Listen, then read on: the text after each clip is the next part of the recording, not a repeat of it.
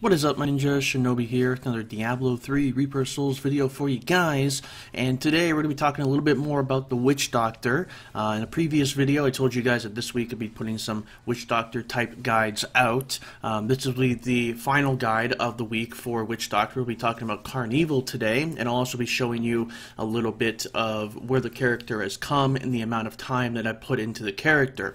Now, on purpose, what I'm doing this season is you guys know that I'm playing one class every week. But what I'm also doing is I'm playing it like an average player would play it. So that way you guys can get a good um, idea on how how long it will take you to get certain gear, how long it will take you to be able to get the builds and the specs that you want to do and everything like that. So it's all in testing and all in fun and then at the end of the six weeks then I'll push my characters and actually you know, compete in the Greater Rift leaderboards at the end. So half the season will be like casual mode, and the other half of the season will be, um, you know, pushing it harder. And this character here that you're seeing on the screen in the background uh, is the Carnevil Witch Doctor. It only has about 50 hours playtime, so that's one whole week, seven days, you know, and I you know that's that's 50 hours it's not an insane amount um, you know it could definitely be higher it could definitely be lower i mean my character is only paragon 300 um,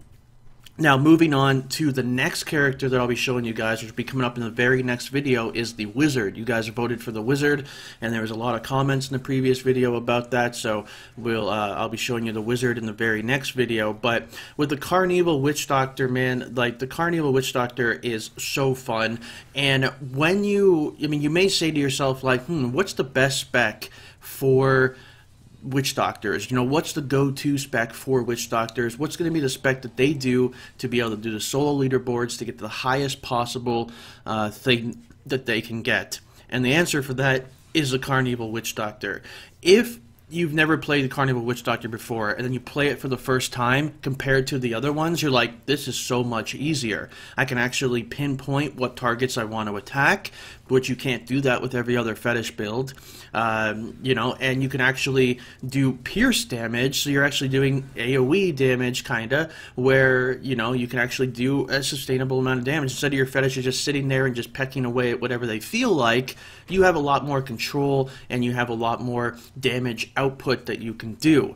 Uh, with that said, though, um, because you are using the Carnevil Helm, and I'll show you my character in just a minute here, uh, you do lose things like Mask and and that's unfortunate. I mean, you do get that damage loss, but I feel like the pierce that you get from dagger darts and from Carnevil is so strong in comparison uh, to of Jeram is great. Maybe you have like an SMK and you want to go maybe that kind of route for a little while, go physical or fire or something like that. Um, but the cream of the crop is the Carnevil build. It is what you're going for, and uh, yeah, I mean, like I barely put any time into this character as far as doing Greater Rifts, and I completed uh, Greater Rift 43 so far, and I'm already moved on to another class, so I'll come back to the Witch Doctor probably later on. But you know, I mean, just imagine the potential with the character if I actually put a lot of time into it, and you guys as well. So let's go ahead and switch over and get into the spec and the build that I'm doing here and give you a little bit of insight on why I chose what I did. And here we go. Alright, and here we are in town, and I'm going to show you some of the items here, some of the choices and everything like that, um, and all that. Um, so first, obviously, I'm using Enchantress. You might think that's kind of weird. Well, I haven't found the, you know, I've geared up so quickly that I haven't even found the Templar uh, relic, the immunity one. So I'm just using her for right now, and I'm not even using double unity combo. Uh, I've only found one unity so far, uh, which is actually, this is the longest it's ever taken me to get double unity combo but uh, now double unity combo is an option you could do in the future. Um, we'll get more into that though. Uh, but yeah, this is just uh, the follower here. Nothing special. Uh, just going mainly with just getting like the Esther Johann and pull things in for you to help you with stacking monsters on top of each other so you can do some pierce damage. Uh, let's talk a little bit about the pierce damage though. So, uh, so we are using Dagger Darts and Carnevil. Now Dagger Darts, this one isn't ancient, but I did get a gift and I could roll it up higher and around 24 or 50 damage around there is pretty decent uh, for this. And uh, yeah, the only thing would be a little bit better if the vitality wasn't on there and I had like attack speed or something because you don't care as much about vitality. And I probably, yeah, I have a crap ton of health uh, right now. Um, but yeah, so then, you know, dagger darts, what does it do? So if you've never seen the Carnevil build before, your poison darts and your fetish's poison darts now pierce. Um, now, can you get away with using dagger darts without the Carnevil? You kind of can, but it's really bad. Uh, and vice versa with the Carnevil as well. So the Carnevil here, um, your fetishes shoot a poison dart every time that you do. Um, so yeah, I mean, you can get away with using a Carnevil by itself a little bit, but you're not going to get that pierce, and that's what it's all about. And, you know, that's why you use a dagger of darts. Um, yeah, so this one is not too bad. You know, rolled pretty well. I mean, obviously, if it's ancient, it'd be better, but Yep, not too shabby right here uh, for the Carnevil. Now, I do want to talk a little bit about the Carnevil because recently Blizzard made some changes to the fetishes, or fetish sycophants to be more specific. And it says that when you summon a fetish sycophant, it will it will pretty much snapshot or take whatever your highest elemental is at the time, and your fetish will do that kind of damage. Now, if you do use your dart to shoot, regardless of what elemental this dart is. If you pick the physical one, doesn't matter which one you picked. By default, what happens is your fetishes do the the default poison dart, which is a poison dart, right? Obviously, with the name poison. The default one is just poison dart. Um, so your fetishes will shoot poison damage if you're going for this right here. So if you see, they are shooting poison damage. Doesn't matter if your elemental is physical, it doesn't matter if it's anything, which I think does contradict exactly why they made those changes. So I hope that Blizzard maybe changes this so we can give so we don't have to only use poison and we can kind of like do whatever elemental we want, just like every other fetish spec can do. Um, so that would be nice if we could do that. But for right now, you're pretty much stuck into poison. So you know, get your poison on your uh, on your Aughild's here, and using the two-piece Aughild's, but getting the three-piece because of Ring of Royal Grandeur. Uh, using just a very basic uh, amulet right now. I did get a slightly better one right here. I could re-roll the uh, cooldown off or the int off and get a socket. And yeah, I lose a tiny bit of damage, but I'm going to pick up um, a, you know, obviously the prevent poison damage, which is nice to have.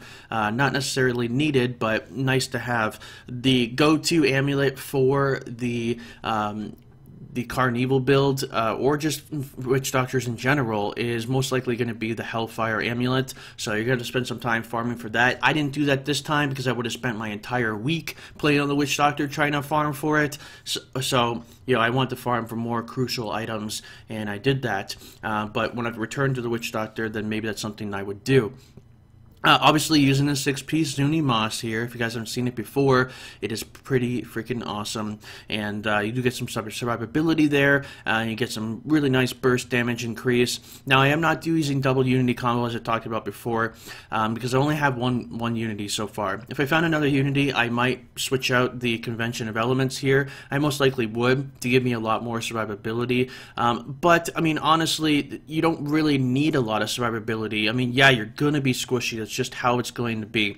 Um, you know, if you get hit by Jailer, yes, you're going to die. Like, that's how it's going to be. But you can get, you know, the Arcane Immunity Amulet if you wanted to. That could help you out with that. Um, but that's a very specific situation you're trying to avoid. And double Unity combo may be the way to go later on. Uh, but Convention of Elements is okay. I want to explain a little bit about convention of elements here because some people have been very confused about this, and I have done my own testing with it, and I have figured out exactly how it works and interacts with the fetish sycophants. Um, so, as I said before, your fetish sycophants, when you summon them, they get whatever your highest elemental is, and you see how this rotates through the elements, right? Then you would think, oh, well, they would just you know rotate through, and pretty much all my fetishes would get a huge damage increase, right? Not exactly. So, how it works is um, this is giving you damage to element and not elemental damage. As you take a look right here, you would see my element damage going up higher, but it's not. Um, the damage to element is. So it's a, it's a difference there. Um, and so pretty much because I am on poison as my highest one, uh, especially when I also have my carnevil here and I'm shooting my poison darts, when this rolls into poison like it is right now, I will get 178% increased damage uh, to that element. So that's definitely nice. Um, yes, you would want to have poison on your amulet, you'd want to have poison on your... Um, on here to you know make that a little bit stronger. Is this something you use in the end game? Most likely not. In the way that I see it, 178% divided by four, you know, because you're not going to be able to get the effect of it all the time, just only when it rolls around the poison. Uh, it's kind of like a mini Mask of Jeram right here. It's like a, it's not as good as like a Mask of Jeram, uh, and it's just kind of like a little mini effect for it. But it is some added damage, so it is helpful. Um, but yeah, and then just going through some of the other items here is just more Zunimas stuff. Um, picking up this as soon as possible is very uh, important. Um, I would say, because people ask me all the time, what is the order for blood shard spending on the witch doctor? This is the order that i did and i think it's really good.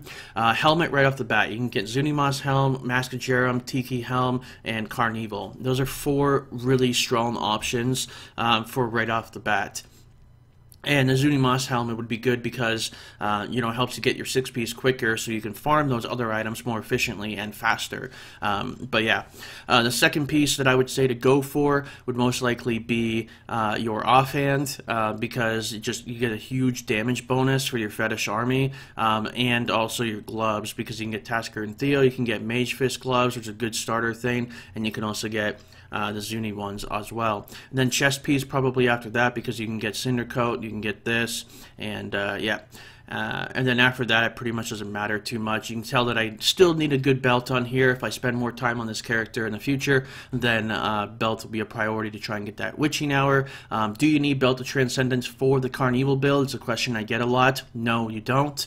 Um, you you're completely fine with summoning your fetishes up pretty quickly, as you saw in the video footage in the beginning.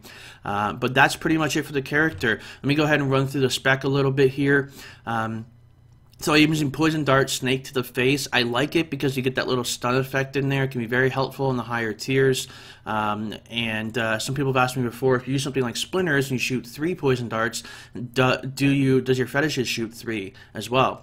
Uh, not exactly. Uh, it's like I said, it goes off your basic Poison Dart, so you can choose whatever one you want to. But uh, yeah, I like Snake to the face. Um, it's just really strong, and uh, yeah. Uh, and then we also have Haunt with Poison Spirit, uh, getting that 20% damage bonus. Really helps you when you don't have Piranha Nado.